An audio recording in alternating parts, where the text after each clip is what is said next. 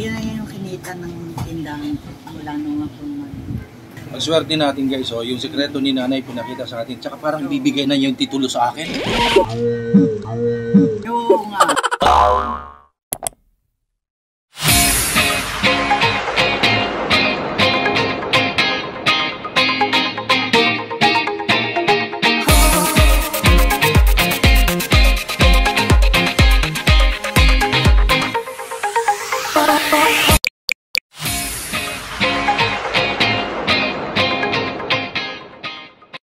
Noel Vlogs!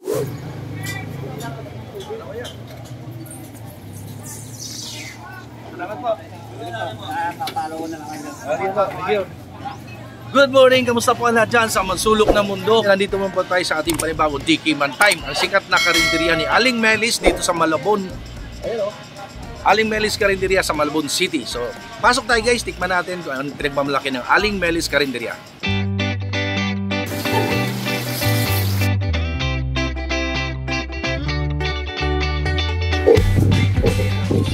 So ayan, oh, finally guys, nandito tayo sa loob ng karinderya ni Aling Melis since 1966.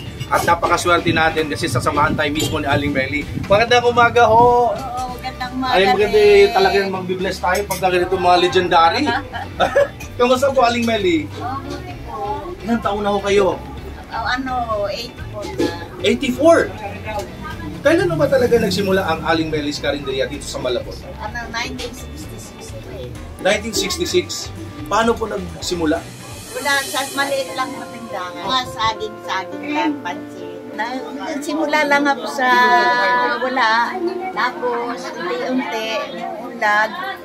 Hanggang sa dumating ako sa panahon ngayon. Sa panahon ngayon na Opo. lalo pang umulan. Umulad ano po? Lalong lalong sumikat, lalong tinanggap ng mga tao ng yung putahe, ng yung pagkain. Napaka-bless po ninyo. Kasi, di ba? Parang makain ka ng mga tao. Kasi po, ito, sinamahan ko ng pag-ibig at pagmamahal sa mga tao. Oo, pag-ibig at pagmamahal ang sekreto. Dahil kung ano yung kinakain kong masarap, pinapakain ko. Ang pagkain, kung wala dyan ng pag-ibig, hindi ka makapagluluto ng masarap. Ayun. Mga matatanda na na na nagkumakain dito, mga namatay na nga lahat eh. Ang natitira na lang yung mga anak. Kaya pag nagpupunta dito, sinasabi nila, Aling Melik, ako yung batang bininalat na rin yung tatay. Wow. So guys, meron tayong kakausapin na talagang masugid na customer, mga taga-subaybay na Aling Meli na kumakain. Bilang patunay, kausapin po natin. Hello mga sir, mga ma'am.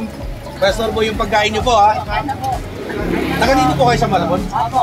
Ah, taga Malabon talaga sila. So, gaano na pa kayo katagal kumakain dito?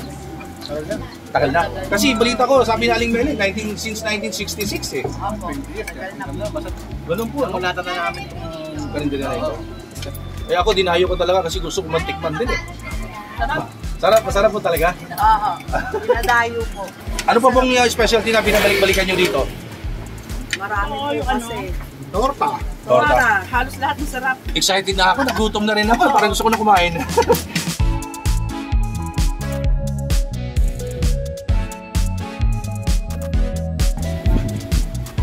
Ayan, oh, di na busy si ate finally. Kausapin natin. Ate, ano pong pangalan nyo? Rose po. Ano pong, ano nyo, kayo ba anak ni Aling Meli? Pamangkin po. Pamangkin.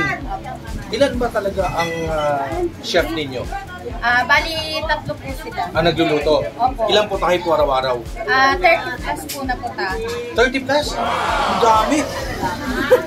Naubos ba yun araw-araw? Opo, nauubos po yun. Pagka po mga tuna, ah, ang nire-refill na lang po namin is yung mga sinarsahan na lang po namin, yung torta.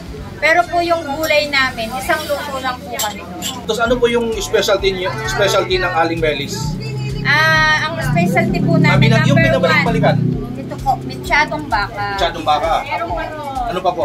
Ah, tortang alimasag. Torta kalimasag? At saka rellenong pusit. Lilian ng kusit. Ayun. So, guys, kung ano yung ah, best seller nila, ika nga, yun ang titikman natin. Yun ang dinayo natin dito eh. Ate, titikman ko na. Opo. Ito yung ano, tortang alimasag guys, oh. Tortang alimasag. Ito naman yung kanilang ah, beef mechado. Ito po, sir. Ito yung ano, rel- relian po Magkano po ito? Ah, 100 po per order. Ito po, 105. Ang mechadong baka 105. Apo. Ito Yung pong torta, 85. tortang limasag, Apo. 85. Apo. Tapos ang rice, 20 po per order. Tapos ang rice nila, 20 pesos per order.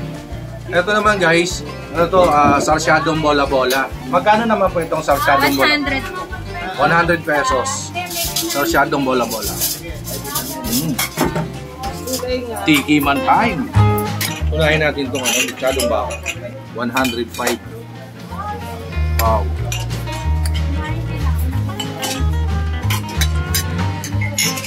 Tiki man time.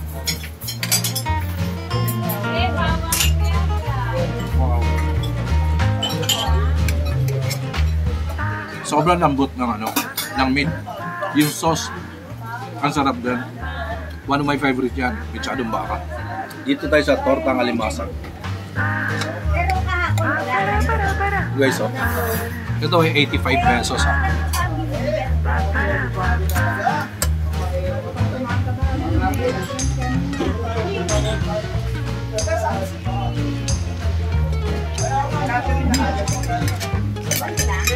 Ang sarap din.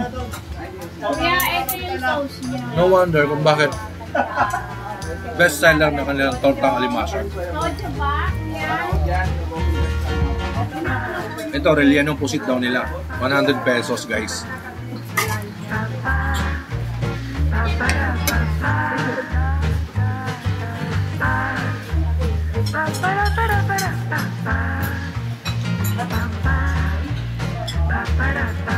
Ito yung sarsyadong uh, meatballs. Ayan, oh. Guys, oh. Ay, di mo. Ano yun, makalawa pa mo. Oh.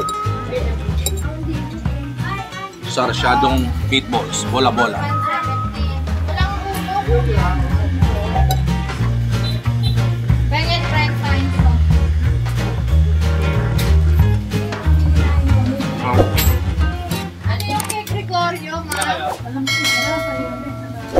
Ang meatballs nila.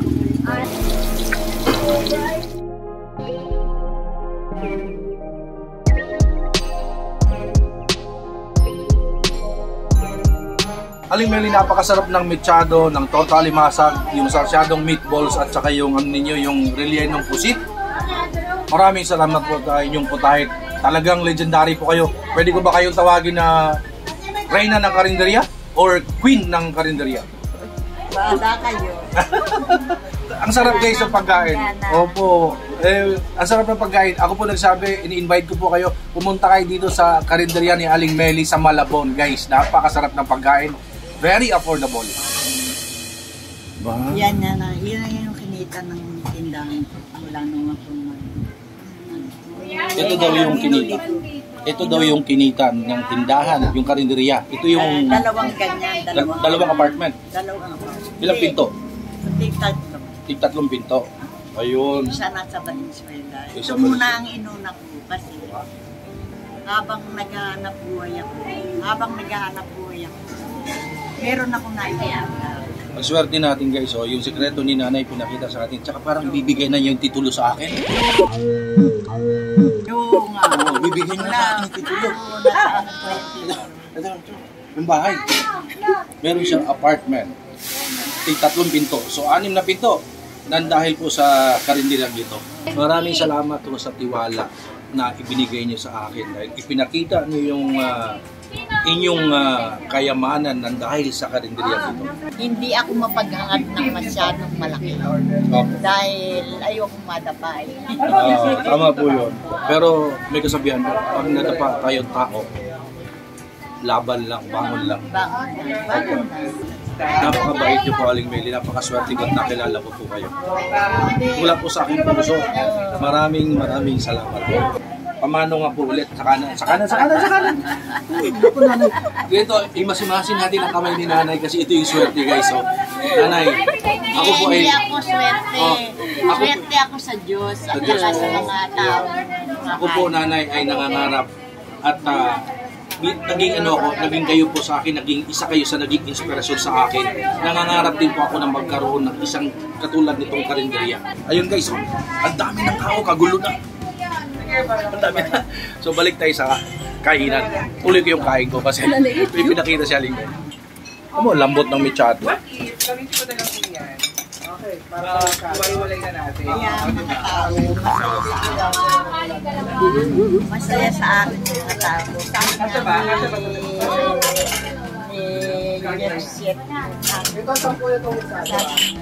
kaya maunlad ang tindahan mo kasi lahat kayo nakikita. Totoo yun. Gawa na yung ano. Kailangan kasi namin. So hanggang anong oras po ang open ng yung karinderya po ninyo? Ano? Ano, ano, basta alas 6 nag-iiwan na yung Yung, yung, yung simula ng pagkain, anong oras po? Basta sa isang tira, isa lang ang tindahan. May nagdadaan May nagdadandaan. May kumakain na ng mga alas 7. So 7 in the morning guys. Pwede na kumain dito. Until what time po? Hanggang oras? Ah, alas 9 ng gabi. Hanggang 9 ng gabi. Aling Meli, sisimutin ko na itong last bite ng ano, meatballs. boss, mayroon pa Kaya ako, kahit na lahat ng kumakain dito, binibigyan ko ng spiritual. Halimbawa, asawang nalulungkot, asawang wala na kayo. Galing. Yung pala ang sekreto. Ginagawa mo na hindi mo. Lahat ng tao doon kumakain dito. Binibigyan ni Aling Meli ng spiritual advice, kinakaibigan, samahan ng ngiti. Saka may problema sa mga asawa, na-advise ang May problema daw sa mga asawa. Problema nga yung asawa ko, Aling Meli. Tuwing sweldo kasi. Yung ATM ko nawawala. Tawa si Aling Meli.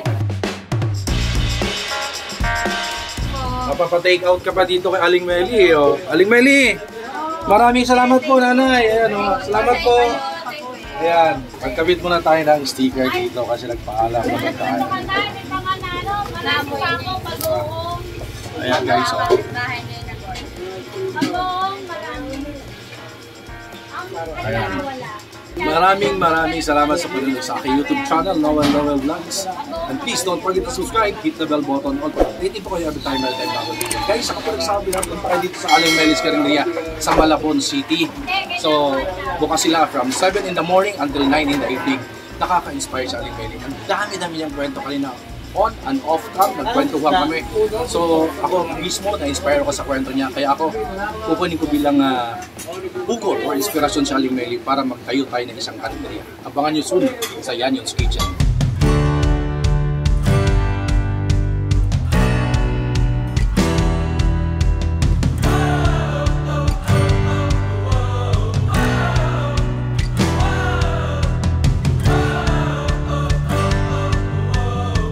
Thank you guys and stay safe, everyone.